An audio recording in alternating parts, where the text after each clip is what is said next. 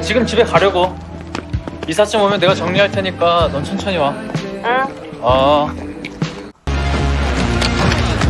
너 괜찮아? 하나, 너 여기 어떻게 왔어? 다행이야.